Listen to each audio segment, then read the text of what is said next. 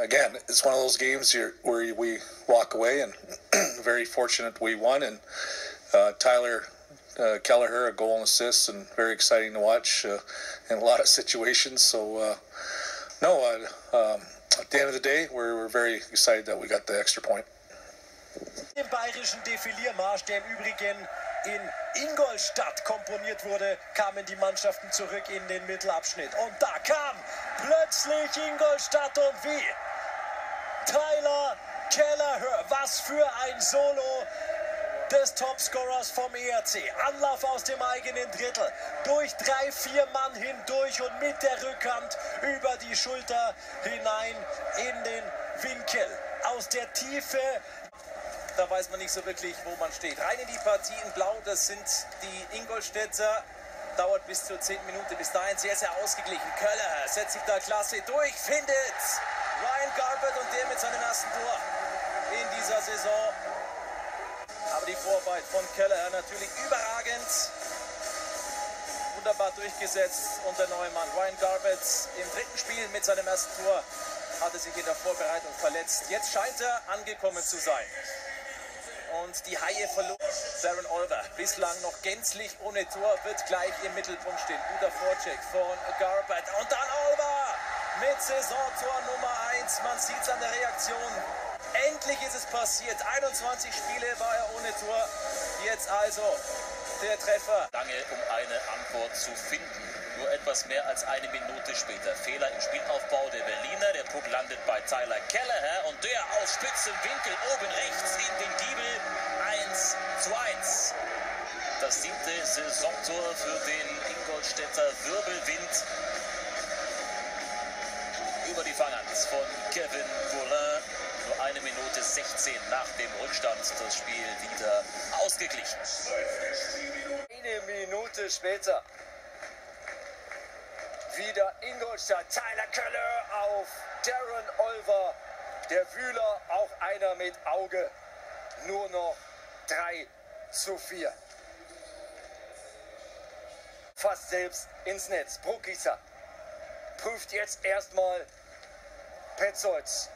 Der ist noch hellwach, aber dann verliert er im Rücken Kelleher aus den Augen. 7-4 für Ingolstadt. Wie schon im Hinspiel. Die Panther brutal effektiv. Dank Krefelder Unterstützung. Führungstreffer. Weil Nürnberg gut startete in dieses zweite Drittel, war das schon okay so. Aber die schnelle Antwort des ERC Ingolstadt, der Ausgleichstreffer, das 1 zu 1 durch Tyler Kelleher. Nur zweieinhalb Minuten nach dem Rückstand. Sechstes Saisontor von Kelleher. Hier der Pass von Garbett. Und dann Kelleher macht das clever fährt dann nochmal in Position, kriegt den Pass wieder zurück von Olver. Der Schuss ist richtig platziert, an den Innenpfosten nichts zu halten. Für die Scheibe über die Linie und Ingolstadt jetzt in Spiellaune. Es ist wieder Greilinger und der nächste Treffer für den Herz Ingolstadt in der 36. Minute. Powerplay-Tor von Jerry D'Amigo, den sie da völlig frei. Ingolstadt mit zwei Mann mehr spielen die Panther geduldig und ein weiterer Neuling macht das 2 zu 3. Tyler Keller. Das Problem für Ingolstadt nur, Millisekunden vorher die erste Strafe abgelaufen und damit Straubing wieder komplett.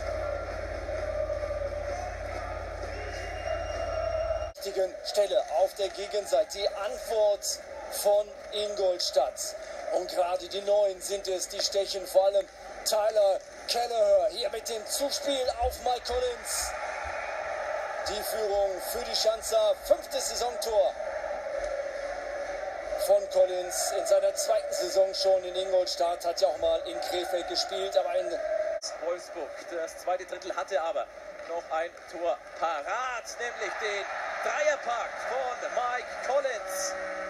Das war Saisontor 1, 2 und 3, sein erster Dreierpack überhaupt in der DL. Diese Aktion hier, Zerrissen kommt zu Fall. Kein Pfiff gegen Ingolstadt. Patrick Canoni schickt Tyler Kelle her und der macht's alleine gegen Gustav Wesslau. Nimmt Geschwindigkeit auf über die rechte Seite und lässt dann mit dem Schuss. Wesslau keine Chance. Das hier, diese Szene, Keustine gegen Kelleher, die sorgte für Diskussionen. Der Pfiff blieb aus.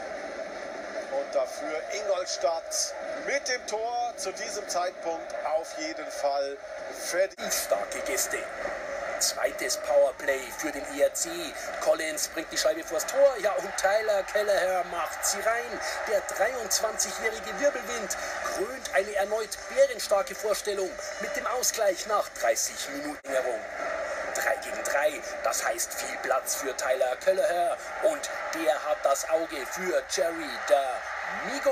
3,8 Sekunden vor Schluss holt Jerry D'Amigo mit dem 2 zu 1 den Zusatzpunkt.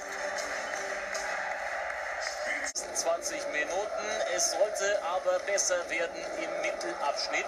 Zunächst aber die Chance für Ingolstadt, die Führung auszubauen. Kelleher auf dem Weg in Richtung Treutle wird gefault und das gleich zweimal.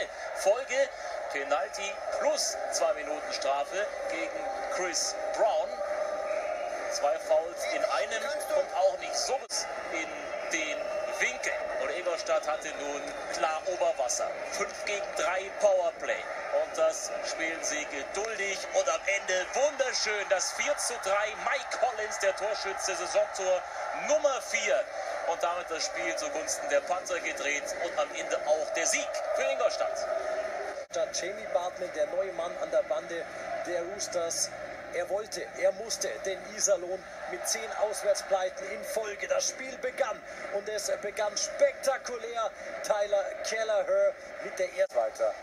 Passiert. Das dritte Drittel und Doug Shaddens Mannschaft schmeißt jetzt alles nach vorne. Und wie? Tyler Keller, viereinhalb Minuten vor dem Ende mit dem 3 zu 3 Ausgleich. Die Schiedsrichter gehen bei diesem Betreffer zum Videobeweis, denn man sieht es gleich. Maury Edwards ist im Torraum, hat leichten Kontakt zu Dustin Strahlmeier.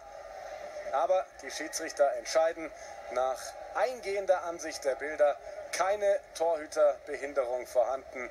Der Treffer regulär.